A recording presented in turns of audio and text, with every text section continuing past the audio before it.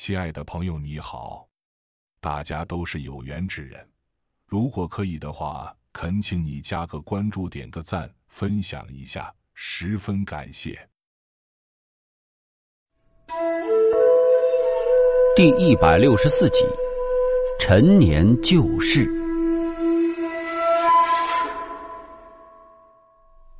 二十年前，铁掌帮在江湖上确是声势极盛，但二次华山论剑之时，帮主铁掌水上漂裘千仞皈依佛门，拜一灯大师为师，铁掌帮即风流云散。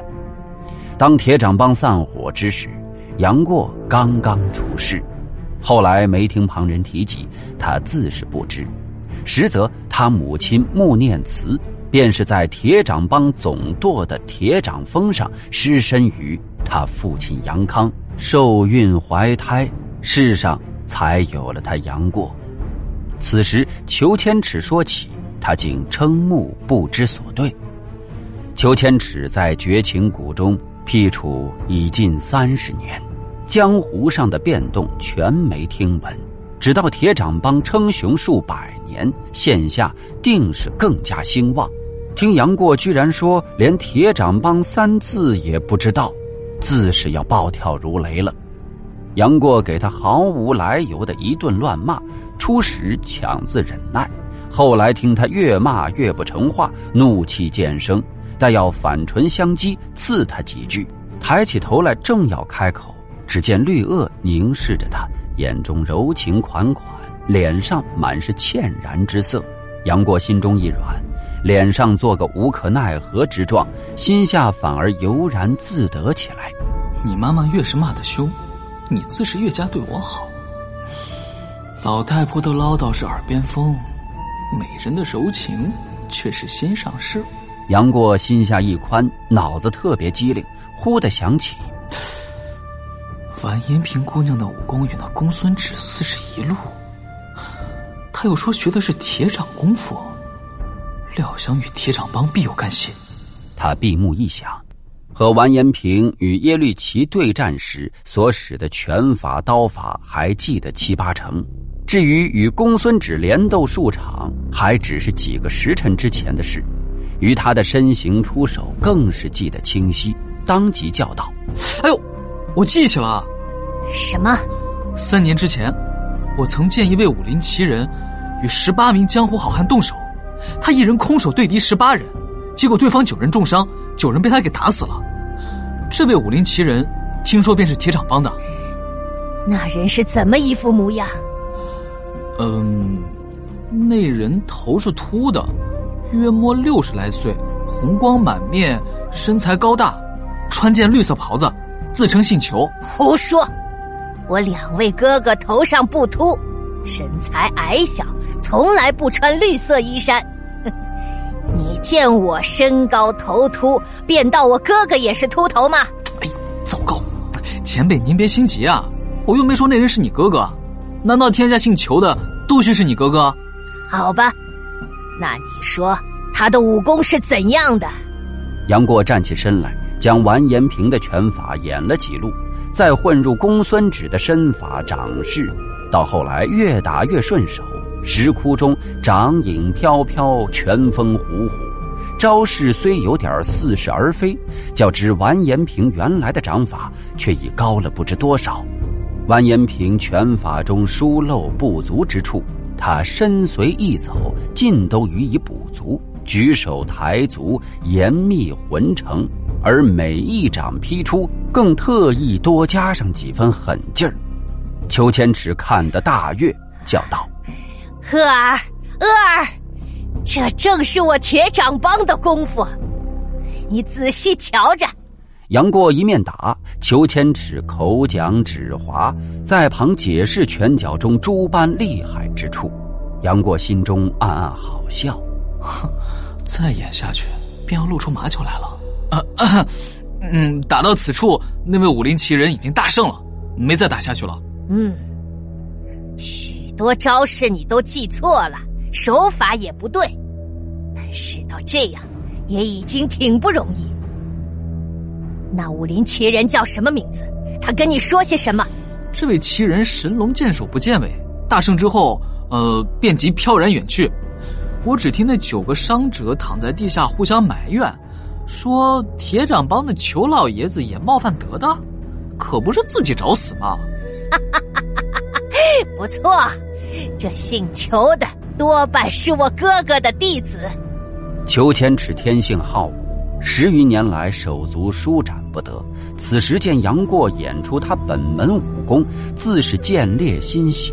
当即滔滔不绝地向二人大谈铁掌门的掌法与轻功。杨过急欲出动，将绝情丹送去给小龙女服食。虽听他说的是上乘武功，实践精道，闻之大有裨益，但想到小龙女深挨苦楚，哪里还有心情研讨武功啊？当即向绿萼使了个眼色。绿萼会意，问道：“妈。”你怎么将武功传给爹爹的？叫他公孙止。什么爹爹不爹爹？是妈，你说下去吧。哼，那是二十多年前的事了。我两个哥哥闹别扭，争吵起来。我有两位舅舅吗？怎么，你不知道吗？我怎么会知道？是啊，从来没有人跟我说过。你。你果然是什么都不知道，可怜啊，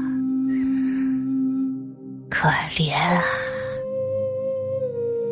你两个舅舅是双生兄弟，大舅舅裘千丈，二舅舅裘千仞。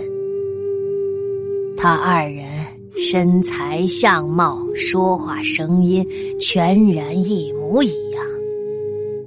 但遭际和性格脾气却大不相同。二哥武功极高，大哥则平平而已。我的武功是二哥亲手所传，大哥却和我亲近的多。二哥是铁掌帮帮主，他帮务既繁，自己练功又勤，很少和我见面。传我武功之时，也是督责甚严，话也不多说半句。大哥却是妹妹长妹妹短的，和我手足之情很深。后来大哥和二哥说拧了吵嘴，我便帮着大哥点儿。妈，两位舅舅为什么事儿闹别扭？这件事说大不大，说小不小。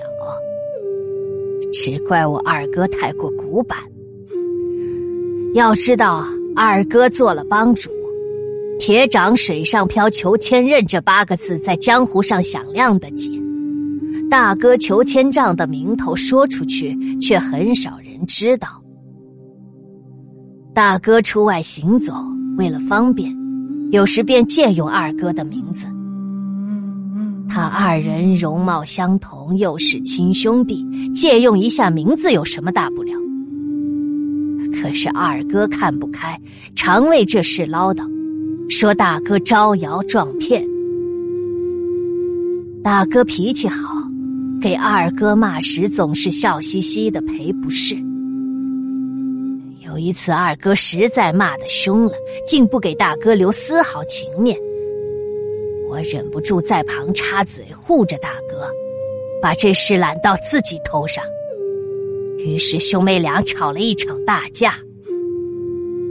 我一怒之下离了铁掌峰，从此没再回我独个儿在江湖上东闯西荡，有一次追杀一个贼人，无意中来到这绝情谷。也是前生的冤孽，与公孙止这这恶贼，这恶贼遇上了，二人便成了亲。我年纪比他大着几岁，武功也强得多。成亲后，我不但把全身武艺倾囊以授，连他的饮食寒暖哪一样不是照料的周周到到，不用他自己操半点心。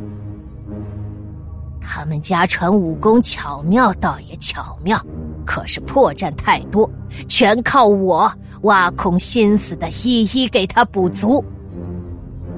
有一次强敌来袭，若不是我舍命杀退，这绝情谷早就给人毁了。谁料得到这贼杀的狼心狗肺，恩将仇报？长了翅膀后也不想想自己的本领从何而来，不想想危难之际是谁救了他的命。裘千尺说着，破口大骂，粗词污言，越骂越凶。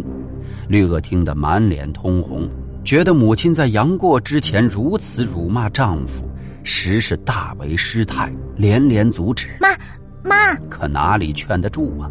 杨过却听得十分有劲儿，他也是恨透了公孙止。